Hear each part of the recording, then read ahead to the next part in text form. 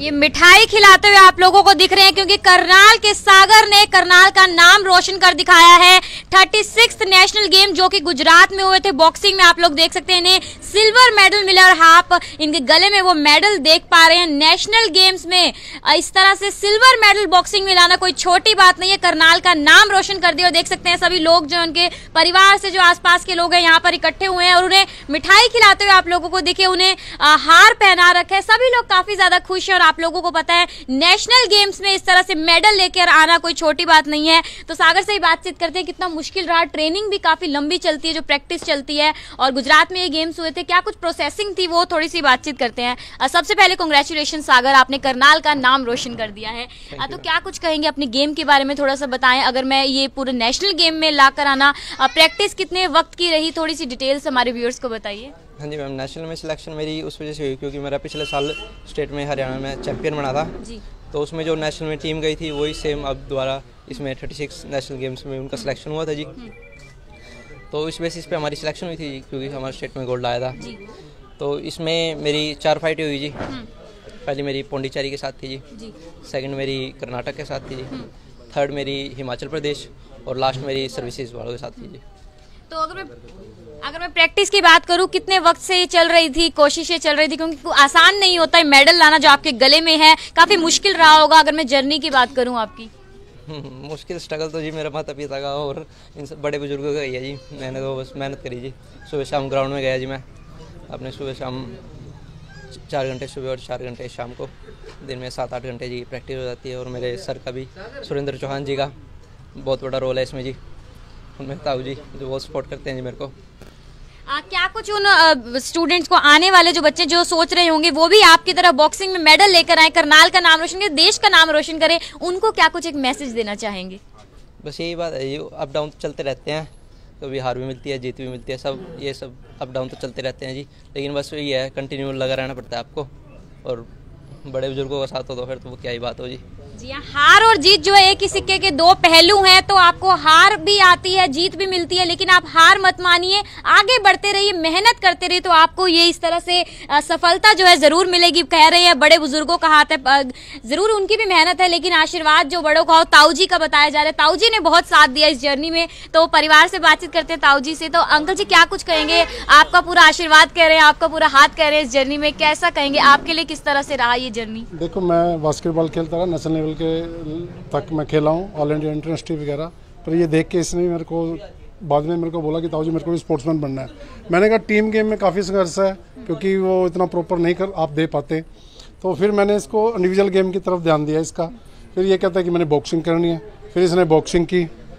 और ये बॉक्सिंग करके अभी ये इस साल का इसका दूसरा मेडल है। इससे पहले खेलो इंडिया हुई थी, उसमें इसका सिल्वर आया था। अब ये नेशनल गेम हुए थे गुजरात में अभी इसका ये सिल्वर आया तो आप कौन सी गेम खेलते थे मैं बास्केटबॉल खेलता था बास्केटबॉल खेलते थे तो आपसे मतलब एक सीख मिली एक एक मन में जज्बा आ जाता है ना कि परिवार में एक बड़े हैं वो भी गेम्स में है तो मैं भी मतलब इसी चीज़ में ही हाँ जाऊँगा। हाँ इसने ये कहा कि मेरे को भी स्पोर्ट्समैन बनना है। मैंने कहा ठीक है फिर फिर मैंने इसको ये बॉक्सिंग के बारे में थोड़ा बताया। कोच है मेरे ही मित्र हैं वैसे इसके कोच हैं। सुरेंद्र चौहान जी हैं करनाल में उनकी पोस्टिंग है। उनसे फिर मैंने डिस्कस की फिर उसने इनको देखा तो फिर वो अभी छः से या सात साल से इसके साथ लगे हुए हैं और अभी रिज़ल्ट देने लगा है। आने वाले जो सर और भी बच्चे सोच रहे होंगे युवा उनको क्या कुछ एक मैसेज देना चाहेंगे? और आजकल ये भी देखा जा रहा है बच्चे जो हैं नशे में भी पड़ते जा रहे हैं तो उनको एक क्या कुछ मैसेज देना चाहेंगे? देखो अगर आप स्पोर्ट्स करोगे तो नशे से बहुत दूर रहोगे अगर आप नहीं स्पोर्ट्स करोगे तो नशों की तरफ़ जाएँगे। इससे अच्छा यह है कि अगर आप नशों से बचना चाहते हो तो आपको स्पोर्ट्स में जाना पड़ेगा। अगर स्पोर्ट्स में जाओगे तो माँ बाप का नाम होगा स्टेट का नाम होगा और इंडिया का नाम होगा। तो मेरा तो यही है कि नशों से दूर रहें और अपना स्पोर्ट्स में अपना करियर बनाएँ। जी हाँ आज अगर आप स्पोर्ट्स में जाते हैं देश के लिए कुछ भी कर रहे हैं आप नशे जैसी चीज़ों से डेफिनेटली दूर रहेंगे। सागर अगर मैं बात करूँ इन गेम्स की गुजरात में आप कब वहाँ पर गए थे और कितने दिन वहाँ पर रुके? जी मैं एक तारीख को गए थे हम सारी टीम हरियाणा की और हम बस अभी आए हैं जी मैम शाम को आधे घंटे पहले।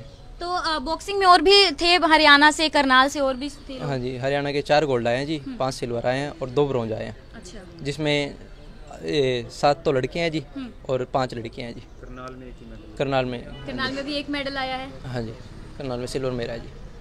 तो करनाल में एक मेडल आ चुका है। करनाल का नाम जो है रोशन कर दिया है सागर ने। और इसके अलावा और भी हरियाणा से बहुत से बच्चे वहाँ पर गए हुए हैं। सिल्वर मिले हैं लड़कियाँ भी हैं ब्रॉन्ज मेडल्स भी आ, मिले हैं। अगर वो लोग यहाँ पर पहुँचे तो हम उनसे भी बातचीत करेंगे कि अगर वो बच्चे लेकिन आप देख सकते हैं पूरा परिवार जो पड़ोसी है परिवार रिश्तेदार सभी दोस्त कितने ज़्यादा खुश होते हुए दिख रहे हैं। कितनी अच्छी बात है कि जो बच्चा है मेहनत करके सफलता जो है मिली है इस तरह से सिल्वर मेडल लाना। तो सागर के पिताजी यहाँ पर हमारे साथ मौजूद है उनसे बातचीत करते हैं। अंकल जी फ़र्स्ट ऑफ़ ऑल कॉन्ग्रेचुलेशन. बेटे ने आपका और पूरे करनाल का नाम रोशन किया है। तो क्या कुछ कहना चाहेंगे इस पर? बस इसके बारे में तो मैं यही कहना चाहूँगा कि मेहनत कर रहे दस ग्यारह साल से लगातार मेहनत कर रहा है और मेहनत इसकी रंग भी ला रही है धीरे धीरे जैसा है बड़े बड़े गेम में जा रहा है और, मेडल लेके आ रहा है। तो 10 से 11 साल से सागर आप खेल रहे हैं ये गेम? हाँ जी लगभग दस साल हो गए। 10 से 11 साल से जो है ये बॉक्सिंग जो है खेल रहे हैं और आज वो कहते हैं ना कि चाहे 10 से 11 साल मेहनत करती रही, लेकिन जो फल है वो आज डेफिनेटली मिल गया। स्टेट में पहले गोल्ड लेकर आए हैं, बता रहे हैं और अब नेशनल गेम्स में 36 नेशनल गेम जो कि गुजरात में हो रही है, उसमें सिल्वर मेडल लेकर आना बॉक्सिंग में। करनाल के, हरियाणा के करनाल से सिल्वर मेडल यहाँ पर मिला है। पूरा परिवार जहाँ पर पहुँचे हुए, दोस्त पहुँचे हुए हैं, क्योंकि सब लोग बहुत ज़्यादा खुश हैं। तो आप लोगों से अपील, वीडियो को ज़्यादा से ज़्यादा शेयर करें और मुझे लगता है कि सागर हर एक, उस खिलाड़ी के लिए जो है एक मिसाल बन चुके हैं। जो बच्चे और सोच रहे होंगे कि गेम्स में हमें हमें भी अपने परिवार का, अपने शहर का, अपने डिस्ट्रिक्ट का, अपने स्टेट का नाम रोशन करना है तो आई थिंक इनसे सीखना चाहिए। तो आप लोगों से अपील वीडियो को ज़्यादा से ज़्यादा शेयर करें। कीर्ति कथूरिया, करनाल ब्रेक